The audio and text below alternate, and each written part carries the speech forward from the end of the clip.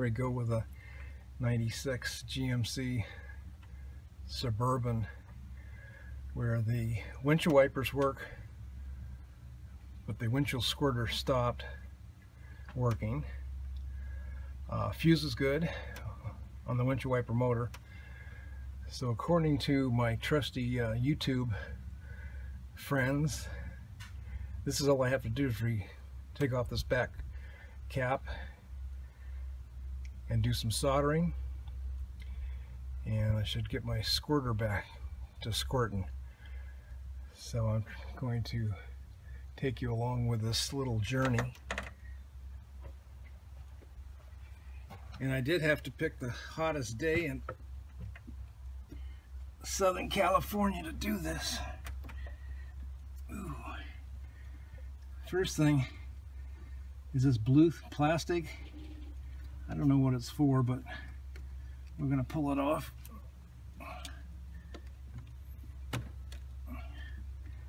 Nothing damaged, so that's cool. Now what we're going to do is take a T20 torque driver and we're going to take off this cap. And there we go. Tied it off. I just don't want to lose the screw. Ooh, it's warm too. I think. Holy cow. I just got through driving this vehicle, which is not probably smartest thing in the world to do, and then try to work on it on the hottest day in Southern California.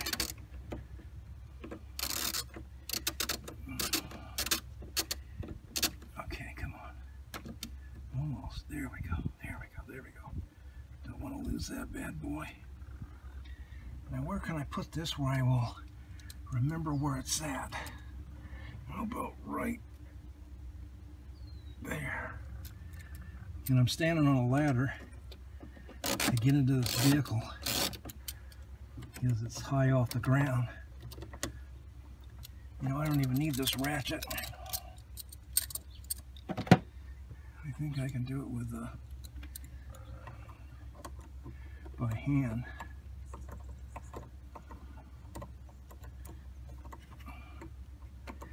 There we go. There's another one off.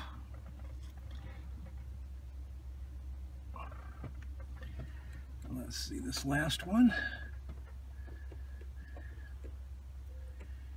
This is a factory recall. I think from 88 to 98. Took them 10 years, I guess, to figure out they screwed this pooch on this one. Okay. Now, what we need to do is pull this cap off and then pull this out.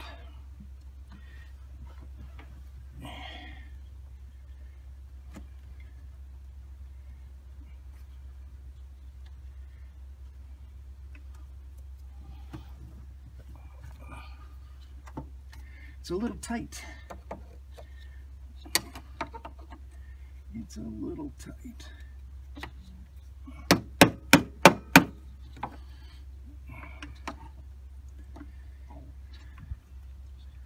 It's a little tight. I do have them all off, don't I? I don't think I have any more. There. I don't think so.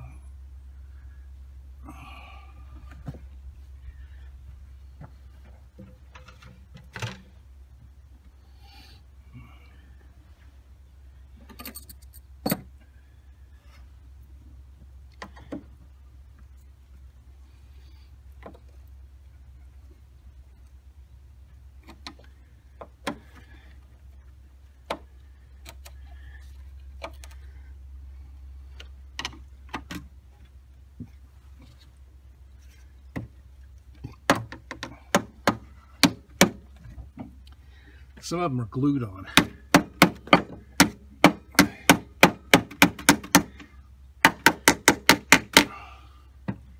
Set up a little vibration and hope that shakes it loose. And I got my mirror over here. Let's take a look.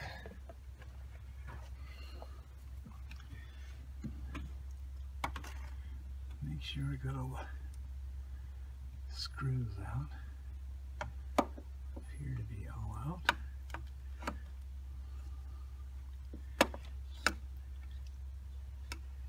Okay.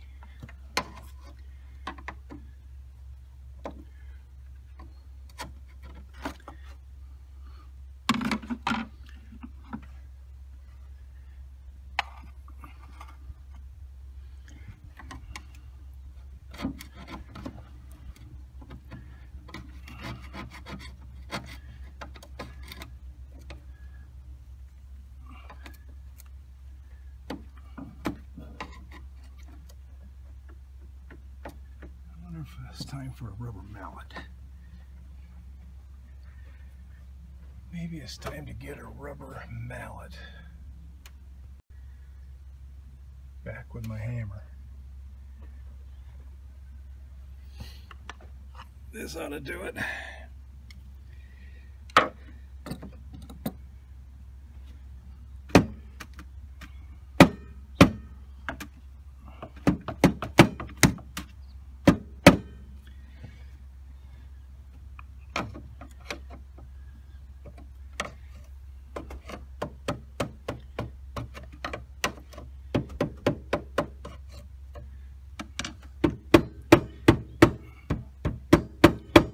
It's rubber, the mallet.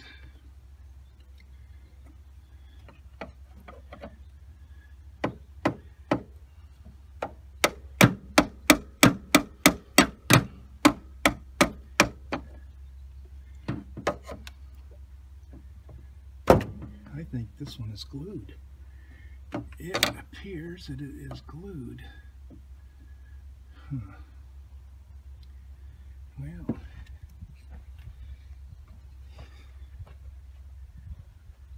we're gonna stop and see if we can get this off. Okay, it's starting to come off now.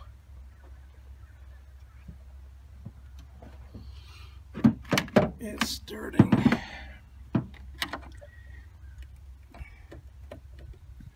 There we go. A little bit of a pry. This is where I need to grow another hand.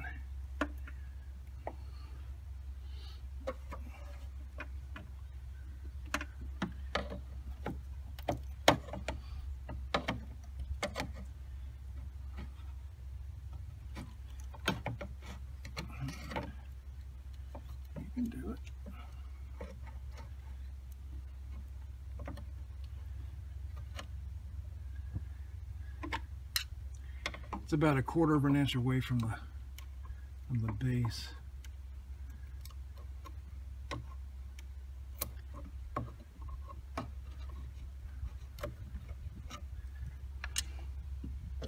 I still have a cable to take out over here.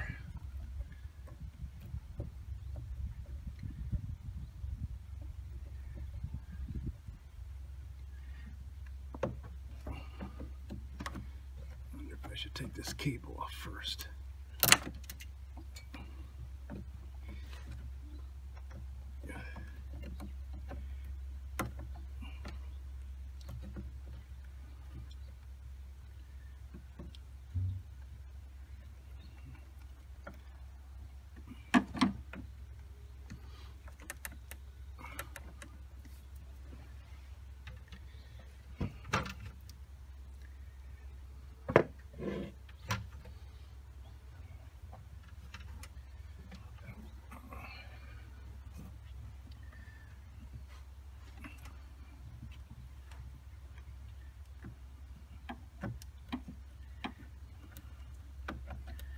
I think I gotta lift this up or push it down or something.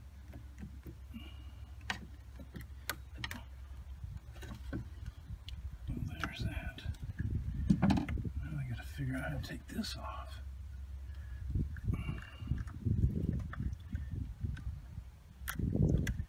It looks like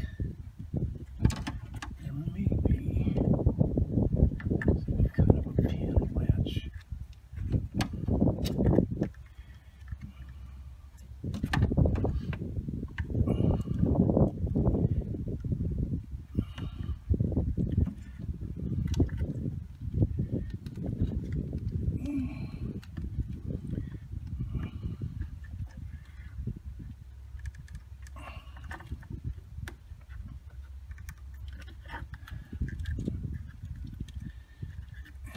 fight me the whole way, I guess.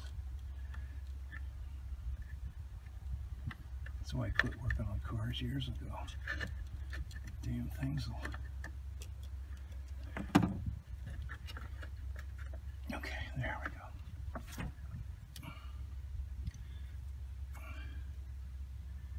Now, let's take it inside and see what happens.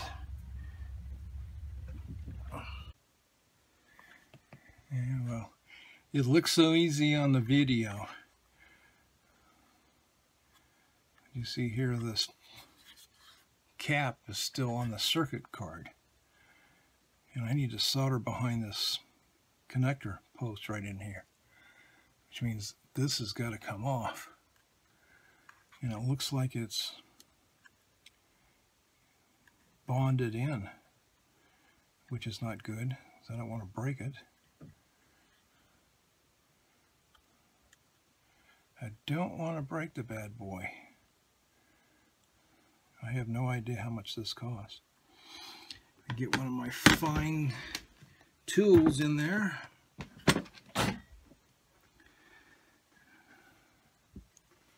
See if uh, I can get some leverage underneath this card.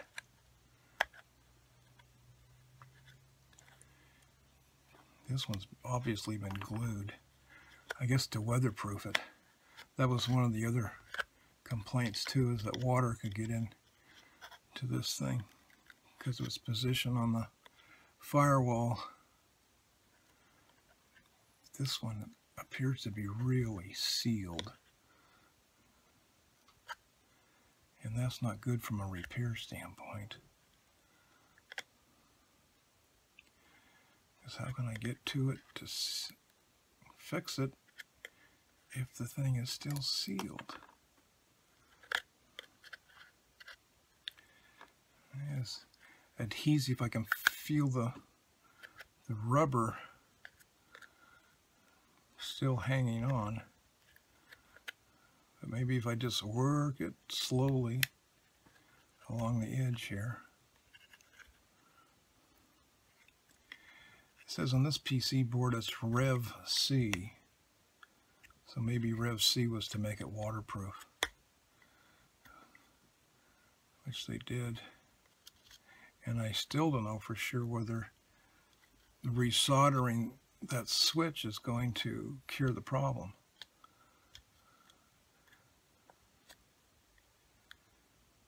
Okay, I'll come back when I've gotten a little bit further. It looks like I've loosened up the seal around here. So it is almost ready to come apart. My golly.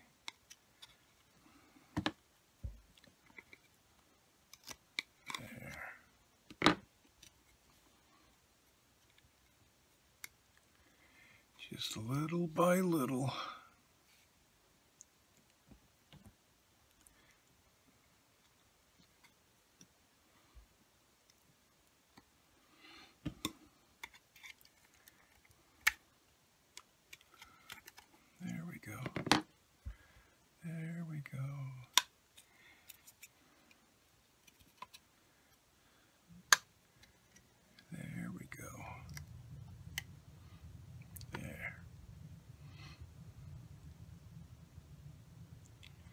area that to be soldered. And the switch connector is along here. These guys. Just heat up the iron and go over them.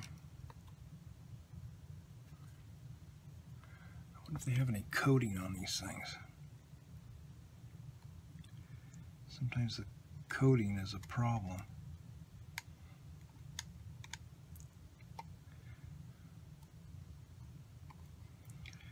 Got one more up here with the rubber on it.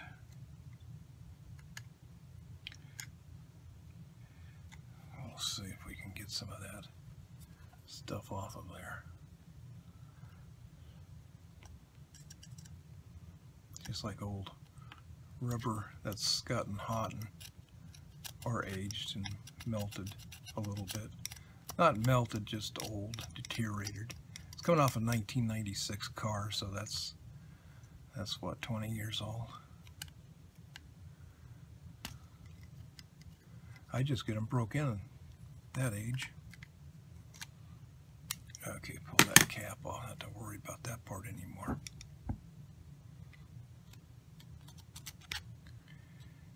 Yeah, let's see.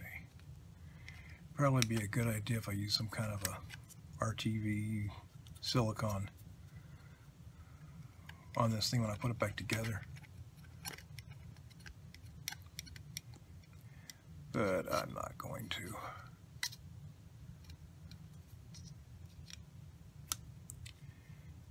Okay. Now,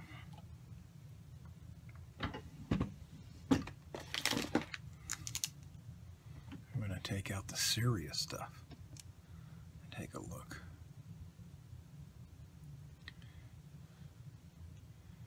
Well, it appears that this switch bracket is held in, P in place by two plastic rivets that are split in the middle so when they go through the hole they'll expand.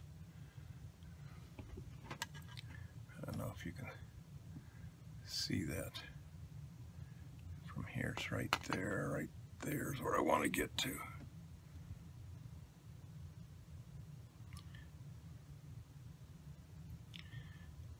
Those black things. That's what's holding it together.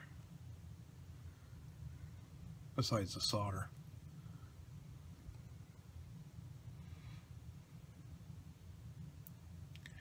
So, heat the iron up and commence to melt me some solder.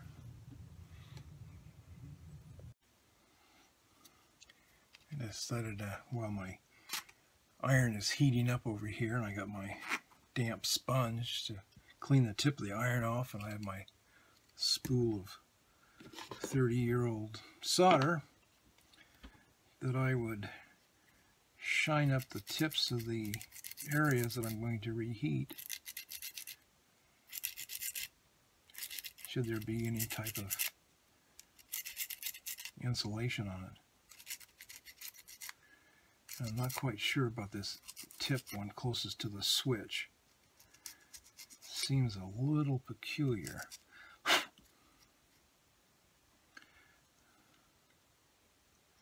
In fact, it looks like whatever solder is on there is very slight.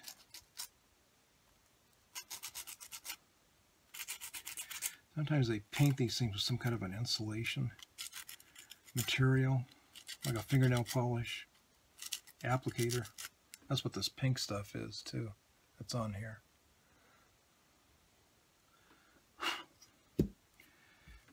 One of my first jobs was stuffing these little parts into circuit boards and for uh, Honeywell Electronics.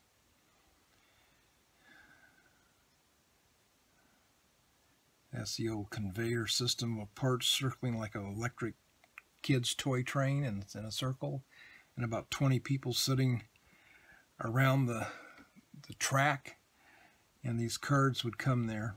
Well you give they give you the blank card with no parts on it, no components, resistors and stuff. And your job was to five little plastic containers side by side would be filled with the same part and you have to put the pick up the part, stick it in the circuit board, bend over the leads, clip the leads, grab the next little bucket of parts, put in the part. You can see how small that stuff is. Yeah, that was my first job. Lasted about three months because the boss kept on, had a remote control like you do with an electric train, and he keeps on cranking it up so that it goes around this track faster and faster and faster. And the track is probably 20 feet long. And so all of the workers had their tongues hanging out and they would they would do it in 15 minute spurts. and then they would give you a 10 minute break and then 15 minutes of like a little monkey reaching out get that peanut stick it in there clip clip the, the leads clip clip. And then once you got through with that you'd pass it on to the next monkey. And the next monkey would have a circuit card with all the little parts stuck in it. And this part right here is they would solder but they had a machine that called a wave soldering machine and it would make an actual liquid wave of of solder. And the circuit card would just go in there and go whoop and uh, go over that wave all soldered at one time and they used to use peanut oil to clean off the card before they soldered it and so the office or the factory floor smelled like peanuts and popcorn that was one of the benefits you could unless you were allergic to peanuts and not that in those days, there was nobody allergic to peanuts. That only happened in the 80s and 90s. I'm talking about back in late 60s. Okay. Yeah, that one doesn't look like it has any solder on it. Okay, swipe off the hot iron. And let's see, I guess a little bit better on this side. Oh, yeah. Apply a little bit of solder. Safety glasses first. If you do this, make sure you have safety glasses on. You don't want to have hot solder in your in your eye. That is not a good thing. the trick is not burning the circuit card while I'm doing this.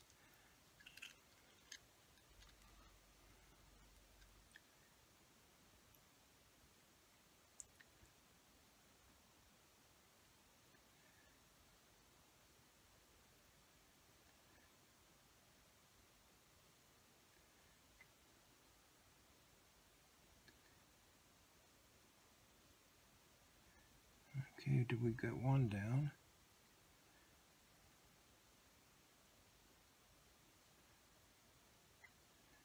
Another one. Cold solder joint means that it's has the appearance of being a good soldered connection but there's actually a little bit of resistance between the component lead and and that's not a good thing.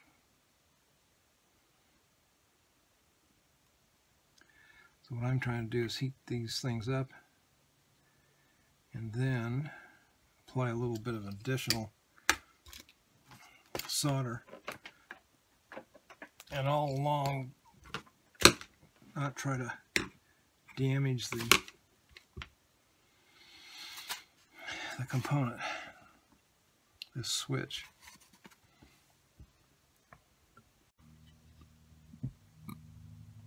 I only have the first three done. Let's see.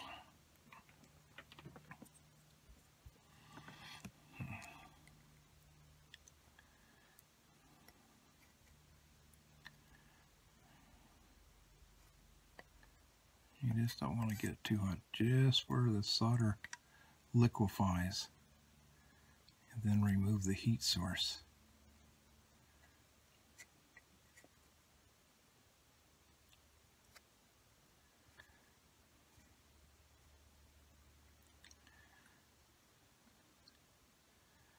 And also the component, the part that's, that's hooked in here, the electrical connector. With uh, more heat, is more heat's required because of the mass, the size of the material, the number of of uh, these all these connector pins and stuff inside there. Those act like a heat sink, and they will draw the heat away from the iron and away from the connection. So maybe that's what the problem was originally when uh, they were manufacturing this stuff. Yeah, I still got some heat there. Melt that solder. Let's try this guy.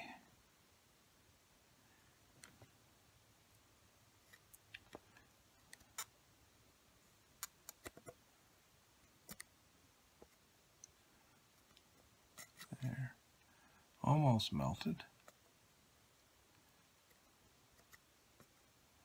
Almost melted.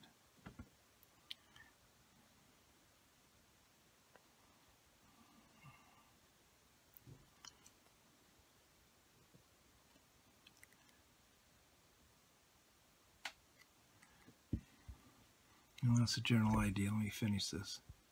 I think I'm ready to put it back together. I cleaned up a little bit of the contacts here. There's two contacts here and here. And then also inside here there are contacts. Tried to scratch those up, clean those up. And then that's how it goes in the vehicle.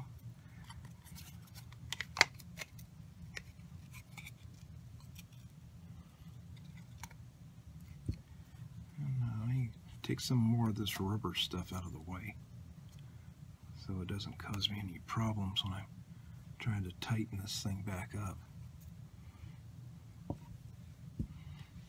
See that?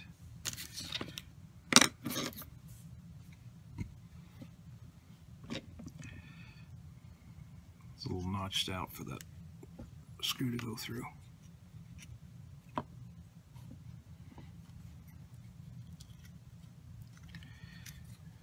Okay.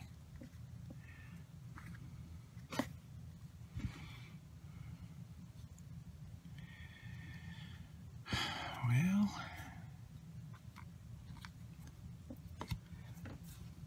time to go out and reassemble. Unplug this iron. Hopefully it won't catch anything on fire while I'm outside. Catch you in a minute. Yeah, we gotta go out and try to reinstall this in the vehicle. Hope I didn't run the battery down. Go out and check this out again. Wouldn't that be a sad state if I ran the battery down?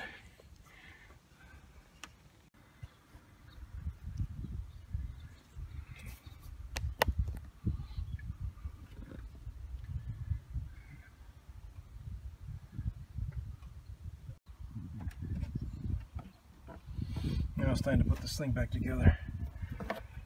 After I went fishing for it, I dropped it right in the front of the engine compartment, down deep. Had to use my little special tool to retrieve it. Okay, let's see. Let's see here.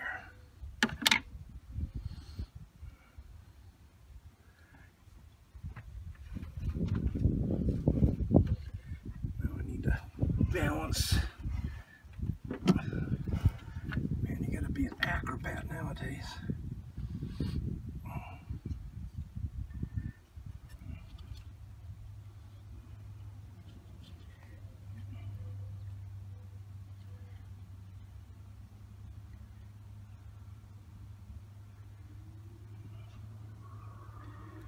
I wonder if that grease is supposed to be there. That's a heck of a lot of grease. Maybe it's time to wipe it off a little bit.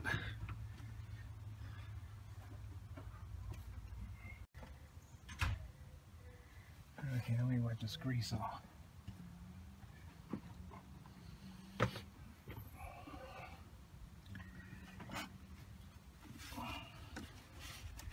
Seems like a awfully lot of grease in here. Or lubricant. Or whatever the hell it is.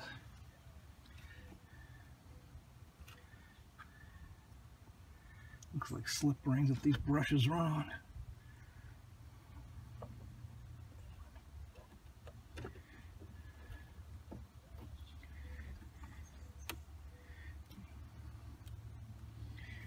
Okay.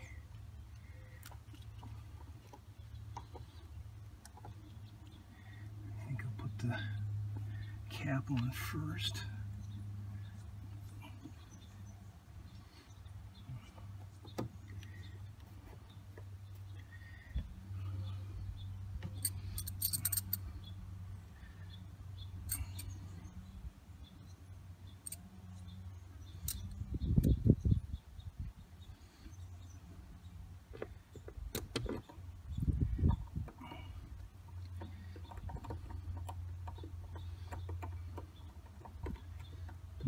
Guess one's on. I'll get another one. Okay.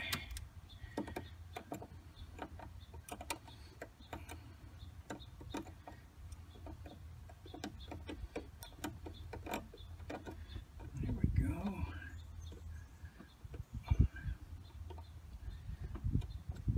Okay. Now one more.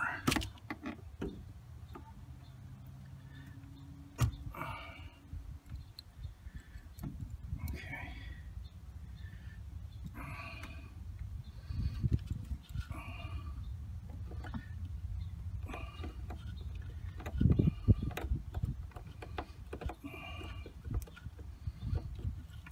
Okay.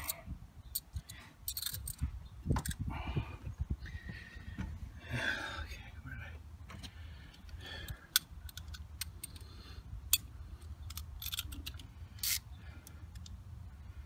Well, the hard part's almost over.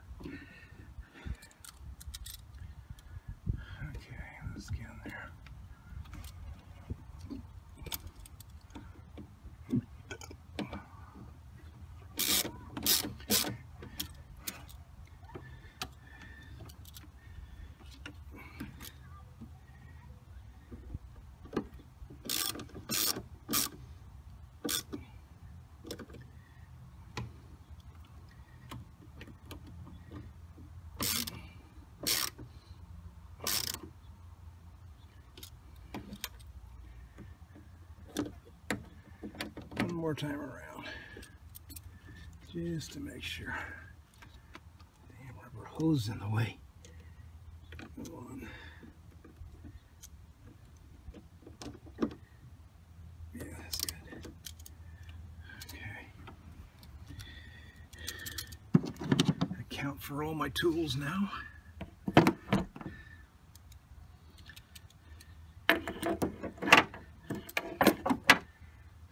Finish connecting the connector. Okay,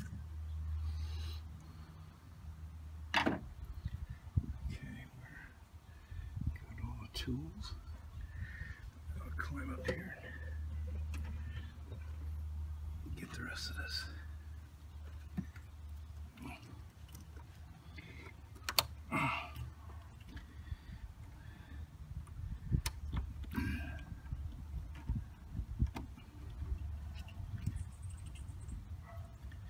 Okay. Now, thing left to do is give it a test. the squirters, I'm going to point those out. The squirters are here and about six inches over to the other side. So let me reposition the camera then we're going to give it a test.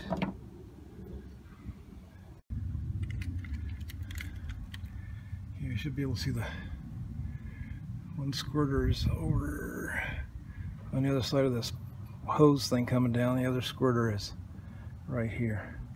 I'm going to go turn the car on not the engine, just the just the car, and see if the squirter works.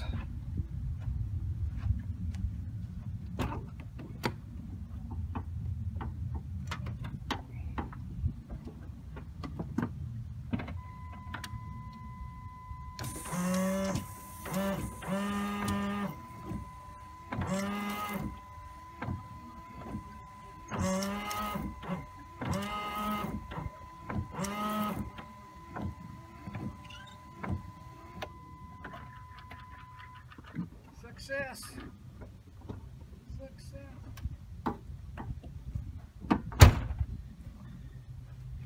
Let there be squeaky, squirty water now.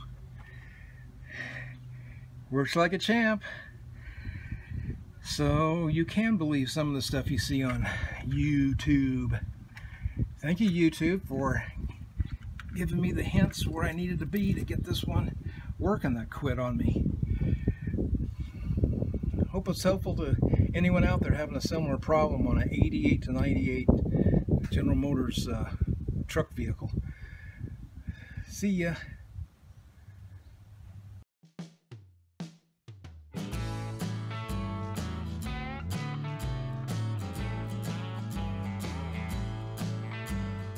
So in summary, education, perseverance, and just doing it pays off in the end. So now I have washer squirters on my vehicle again. Yeah, check out some of the other YouTube videos on this subject. Uh, you'd be amazed. There's all kinds of different ways to skin a cat, as they say. Different ways, different ways. But this is the cheapest way. All it cost me was a little time and luckily no scrapes or bruises. Grease though. And when I did the soldering with my I think this is nearly 35 year old soldering iron. I didn't burn myself. That's a good thing. Okay. Hope this helps.